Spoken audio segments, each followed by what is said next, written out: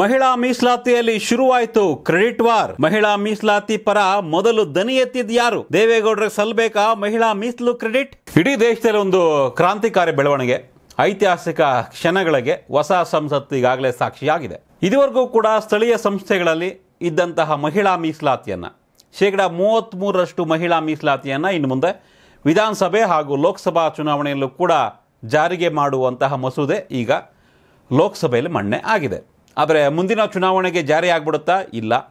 ಎರಡು ಸಾವಿರದ ಇಪ್ಪತ್ನಾಲ್ಕಕ್ಕೆ ಇದು ಜಾರಿ ಆಗಲ್ಲ. ಎರಡು ಸಾವಿರದ ಇಪ್ಪತ್ತೊಂಬತ್ತರ ಲೋಕಸಭಾ ಚುನಾವಣೆಯಿಂದ ಇದು ಜಾರಿಯಾಗುತ್ತೆ. ಯಾಕಂದರೆ ಹೊಸ ಜನಗಣತಿಯ ಪ್ರಕಾರ ಹೊಸ ಲೋಕಸಭಾ ಕ್ಷೇತ್ರಗಳ ವಿಂಗಡಣೆ ಆದ ಮೇಲೆ ಮಹಿಳಾ ಮೀಸಲಾತಿ ಜಾರಿ ಆಗುತ್ತೆ. ಸೊ ಎರಡು ಸಾವಿರದ ಇಪ್ಪತ್ತ ಆರಕ್ಕೆ ಬಹುಶಃ ಜನಗಣತಿ ಹಾಗೂ ಹೊಸ ಲೋಕಸಭಾ ಕ್ಷೇತ್ರಗಳ ಮರು ವಿಂಗಡಣೆ ಆಗಬಹುದು. ಯಾಕಂದರೆ ಎರಡು ಸಾವಿರದ ಇಪ್ಪತ್ತೊಂದಕ್ಕೆ ಆಗಬೇಕಾಗಿತ್ತು ಜನಗಣತಿ. ಆದರೆ ಕೋವಿಡ್ ಹಿನ್ನೆಲೆಯಲ್ಲಿ ಯಾವುದೇ ರೀತಿಯ ಜನಗಣತಿಗೆ ಮಾಡೋದಕ್ಕೆ ಆಗಲಿಲ್ಲ. ಕೆಲವೊಂದು ಟೆಕ್ನಿಕಲ್ ರೀಸನ್ಸು ಕೋವಿಡ್ ವಿಚಾರವಾಗಿ ಮಾಡೋಕ್ಕಾಗಲಿಲ್ಲ ಹೀಗಾಗಿ ಲೇಟ್ ಆಗ್ತಾ ಇದೆ. ಎರಡು ಸಾವಿರದ ಹನ್ನೊಂದರಲ್ಲಿ ಈಗಾಗಲೇ ಜನಗಣತಿ ಆಗಿದೆ. ಅದಾದಮೇಲೆ ಜನಗಣತಿ ಆಗಿಲ್ಲ. ಹೀಗಾಗಿ ಎರಡು ಸಾವಿರದ ಇಪ್ಪತ್ತ ಆರಕ್ಕೆ ಭಾರತದ ಜನಗಣತಿ ಆಗುತ್ತೆ. ಅದಾದ ಮೇಲೆ ಲೋಕಸಭಾ ಕ್ಷೇತ್ರಗಳ ಮರು ವಿಂಗಡಣೆ ಆಗುತ್ತೆ. ಡಿಲಿಮಿಟೇಷನ್ ಅದಾದ ಮೇಲೆ ಮಹಿಳಾ ಮೀಸಲಾತಿ ಜಾರಿ ಆಗುತ್ತೆ. ಎರಡು ಸಾವಿರದ ಇಪ್ಪತ್ತೊಂಬತ್ತಕ್ಕೆ ದೇಶದಲ್ಲಿ ಲೋಕಸಭೆ ಹಾಗೂ ವಿಧಾನಸಭಾ ಚುನಾವಣೆಯಲ್ಲಿ ಶೇಕಡ ಮೂವತ್ತ್ಮೂರರಷ್ಟು ಮಹಿಳೆಯರಿಗೆ ಕ್ಷೇತ್ರಗಳನ್ನು ಮೀಸಲಾಗಿ ಇಡಲಾಗುತ್ತೆ. ಇದು ನಿಜಕ್ಕೂ ಕೂಡ ಕ್ರಾಂತಿಕಾರಿ ಬೆಳವಣಿಗೆ. ಒಳ್ಳೆಯ ಡಿಸಿಷನ್ ಬೇಕಾಗಿತ್ತು. ಈ ಮೊದಲೇ ಮಾಡಬೇಕಾಗಿತ್ತು.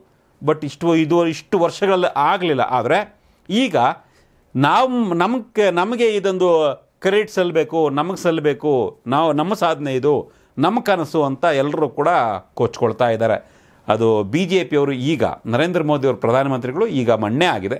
ಅದು ಬಿ ಜೆ ಪಿಗೆ ಹೋಗ್ಬೇಕು ಈ ಕ್ಷಣಕ್ಕೆ. ಆದರೆ ಇದನ್ನು ಶುರು ಮಾಡಿದ್ದು ನಮ್ಮ ಕನ್ನಡಿಗರು, ಮಾಜಿ ಪ್ರಧಾನಿ ದೇವೇಗೌಡರು ಅನ್ನೋದು ನಮ್ಮ ಕನ್ನಡಿಗರ ಹೆಮ್ಮೆ ನಿಜಕ್ಕೂ ಕೂಡ.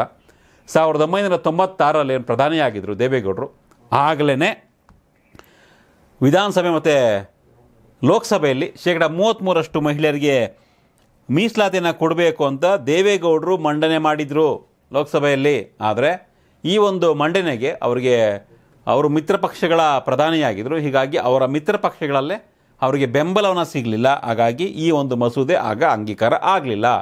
ಒಂದು ವೇಳೆ ತೊಂಬ ಸಾವಿರದ ಒಂಬೈನೂರ ತೊಂಬತ್ತಾರರಲ್ಲೇ ದೇವೇಗೌಡರು ಈ ರೀತಿಯ ಒಂದು ಚಿಂತನೆಯನ್ನು ಮಾಡಿದರು ಅಂದರೆ ಮೂವತ್ತು ಮೂರು ವರ್ಷಗಳ ಹಿಂದೆಯೇ ಮೂವತ್ತು ವರ್ಷಗಳ ಹಿಂದೆಯೇ ದೇವೇಗೌಡರು ಈ ಒಂದು ಕಲ್ಪನೆಯನ್ನು ಹೊರ ಹಾಕಿದ್ರು ಆಗಲೇ ಸೊ ದೇವೇಗೌಡರು ಬಿತ್ತಂಥ ಬೀಜ ಇವತ್ತು ಸಾಕಾರ ಆಗ್ತಾಯಿದೆ ಅವತ್ತಿನ ಕನಸು ಇವತ್ತು ಸಾಕಾರ ಆಗ್ತಾ ಇದೆ. ನರೇಂದ್ರ ಮೋದಿಯವರು ಈಗ ಮೀಸಲಾತಿಯನ್ನು, ಮಹಿಳೆಯರಿಗೆ ಮೀಸಲಾತಿಯನ್ನು, ಮಸೂದೆಯನ್ನು ಮಂಡನೆ ಮಾಡಿದ್ದಾರೆ. ಆದರೆ ಕಾಂಗ್ರೆಸ್ನವ್ರು ಹೇಳೋದು ಇದು ಕಾಂಗ್ರೆಸ್ಸಿಗರ ಕನಸು. ಕಾಂಗ್ರೆಸ್ನವರು ಕೂಡ ಇದ್ರ ಬಗ್ಗೆ ನಾವು ಮಂಡನೆ ಮಾಡೋದಕ್ಕೆ ಟ್ರೈ ಮಾಡಿದ್ವಿ, ಆಗಲಿಲ್ಲ ಅಂತ. ಸಾವಿರದ ಒಂಬೈನೂರ ಎಂಬತ್ತೊಂಬತ್ತರಲ್ಲಿ ರಾಜೀವ್ ಗಾಂಧಿಯವರು ಏನು ಆಗ ರಾಜೀವ್ ಗಾಂಧಿ ಸ್ಥಳೀಯ ಸಂಸ್ಥೆಗಳಲ್ಲಿ ಮೀಸಲಾತಿಯನ್ನು ಕೊಡಬೇಕು ಅಂತ ಪ್ರಯತ್ನ ಮಾಡಿತ್ತು. ಆದರೆ ಆಗಲೂ ಕೂಡ ಮಸೂದೆ ಅಂಗೀಕಾರ ಆಗಿರಲಿಲ್ಲ. ವಿಫಲ ಆಯಿತು. ಅದಾದ ಮೇಲೆ ಪಿ ವಿ ನರಸಿಂಹರಾವ್ ಪ್ರಧಾನಿಯಾಗಿದ್ದರು ತೊಂಬತ್ತೆರಡು ತೊಂಬತ್ತ್ಮೂರರಲ್ಲಿ ಆಗ ಸ್ಥಳೀಯ ಸಂಸ್ಥೆಗಳಿಗೆ ಮೀಸಲಾತಿ ಕೊಡಬೇಕು ಅಂತ ಏನು ಪ್ರಯತ್ನ ಆಗಿತ್ತು. ಆಗ ಸಕ್ಸಸ್ ಆಯಿತು. ಅದೇ ರೀತಿಯಾಗಿ ದೇವೇಗೌಡರು ಸಿ ಎಂ ಆಗಿದ್ದಾಗ ಕರ್ನಾಟಕದಲ್ಲಿ ಮಹಿಳೆಯರಿಗೆ ಸ್ಥಳೀಯ ಸಂಸ್ಥೆಗಳಲ್ಲಿ ಮೀಸಲಾತಿಯನ್ನು ಏನು ಘೋಷಣೆ ಆಯಿತು, ಅಂಗೀಕಾರ ಆಯಿತು. ಅದೊಂದು ರೀತಿಯ ಒಂದು ಕ್ರಾಂತಿಕಾರಿ ಬೆಳವಣಿಗೆ ಆಗಿತ್ತು ಕರ್ನಾಟಕದಲ್ಲಿ ದೇವೇಗೌಡರು ಸಿ ಎಂ ಆಗಿದ್ದಾಗ. ಪ್ರಧಾನಿಯಾದಾಗ ಇಡೀ ದೇಶಕ್ಕೆ ನಾವು ಲೋಕಸಭಾ ಮತ್ತು ವಿಧಾನಸಭೆಯಲ್ಲಿ ಮೀಸಲಾತಿ ಯಾಕೆ ನಾವು ಮಾಡಬಾರ್ದು ಅಂತ ದೇವೇಗೌಡರು ಚರ್ಚೆ ಮಾಡಿ, ನಿರ್ಧಾರ ಮಾಡಿದರು. ಆದರೆ ಅವರ ಪ್ರಯತ್ನಕ್ಕೆ ಅವರ ಮಿತ್ರ ಪಕ್ಷಗಳ ಸಪೋರ್ಟ್ ಮಾಡಲಿಲ್ಲ. ಹಿನ್ನಡೆ ಆಗಿತ್ತು. ಇದಾದಮೇಲೆ ಅಟಲ್ ಬಿಹಾರಿ ವಾಜಪೇಯಿ ಪ್ರಧಾನಿ ಆದಮೇಲೆ ಸಾವಿರದ ಒಂಬೈನೂರ ತೊಂಬತ್ತೆಂಟರಲ್ಲಿ ಅವರು ಕೂಡ ಪ್ರಯತ್ನವನ್ನು ಮಾಡಿದರು. ಆದರೆ ಆಗಲೂ ಕೂಡ ವಿಫಲ ಆಗಿತ್ತು.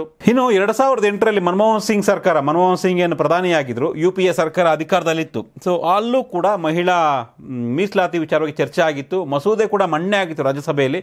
ಎರಡು ಸಾವಿರದ ಹತ್ತರಲ್ಲಿ ಪಾಸ್ ಆಗಿತ್ತು ಮಸೂದೆ, ಆದರೆ ಕಾಯ್ದೆ ರೂಪಕ್ಕೆ ಬಂದಿರಲಿಲ್ಲ. ಮತ್ತೆ ಲೋಕಸಭಾ ಲೋಕಸಭೆಯಲ್ಲಿ ಚರ್ಚೆ ಆಗಬೇಕು ಅನ್ನೋ ಲೆಕ್ಕಾಚಾರ ಇತ್ತು. ಚರ್ಚೆಗೆ ಬರಲೇ ಇಲ್ಲ ಈ ಒಂದು ವಿಚಾರ. ಅಷ್ಟೊತ್ತಿಗಾಗಲೇ ಯು ಪಿ ಎ ತನ್ನ ಅವಧಿಯನ್ನು ಮುಗಿಸ್ತು ಎರಡು ಸಾವಿರದ ಹದಿಮೂರರಲ್ಲಿ. ಸೊ ಇದು ಕಾಯ್ದೆ ರೂಪಕ್ಕೆ ಬರಲಿಲ್ಲ ಬಟ್ ಪ್ರಯತ್ನ ಅಂತೂ ಆಗಿತ್ತು. ಎರಡು ಸಾವಿರದ ಎಂಟರಿಂದ ಎರಡು ಸಾವಿರದ ಹತ್ತರ ಅವಧಿಯಲ್ಲಿ ಸೋನಿಯಾ ಗಾಂಧಿ ಸೇರಿದಂತೆ ಸಾಕಷ್ಟು ನಾಯಕರು ಈ ಒಂದು ಮಸೂದೆಗೆ ಬೆಂಬಲವನ್ನು ಸೂಚಿಸಿದರು.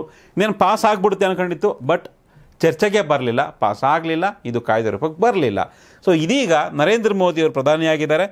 ರಾಜ್ಯಸಭೆಯಲ್ಲಿ ಅಂಗೀಕಾರಗೊಂಡ ಮೇಲೆ ಇದು ಮೀಸಲಾತಿ ಮಸೂದೆ ಜಾರಿ ಆಗುತ್ತೆ. ಈಗಾಗಲೇ ಲೋಕಸಭೆಯಲ್ಲಿ ಇನ್ನೂ ಮಂಡನೆ ಆಗಿದೆ. ರಾಜ್ಯಸಭೆಯಲ್ಲಿ ಕೂಡ ಇದು ಮಂಡನೆ ಆಗುತ್ತೆ.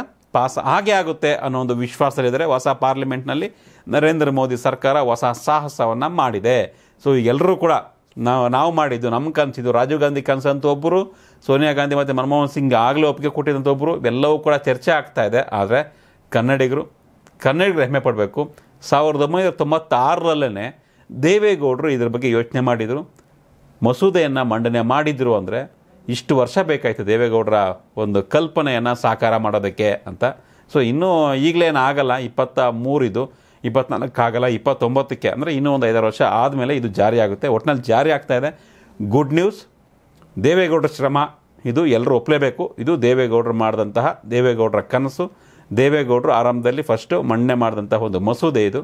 ಸೊ ಹಾಗಾಗಿ ಮಹಿಳೆಯರಿಗೆ ಮೂವತ್ತ್ಮೂರು ಪರ್ಸೆಂಟ್ ಮೀಸಲಾತಿ ಕೊಡಬೇಕು ಅನ್ನೋ ಒಂದು ಕಲ್ಪನೆ ಲೋಕಸಭೆ ಮತ್ತು ವಿಧಾನಸಭೆಯಲ್ಲಿ ಇದು ದೇವೇಗೌಡರ ಕನಸು, ದೇವೇಗೌಡರ ಕಲ್ಪನೆ. ಅವರೇ ಇದಕ್ಕೆ ಪಿತಾಮಹ ಅಂತ ಹೇಳ್ಬೋದು. ನೀವೇನು ಹೇಳ್ತೀರಾ? ಕಮೆಂಟ್ ಮಾಡಿ ತಿಳಿಸಿ ಧನ್ಯವಾದಗಳು. ಕರ್ನಾಟಕ ಟಿ ವಿ ಇದು ಕನ್ನಡಿಗರ ಧ್ವನಿ.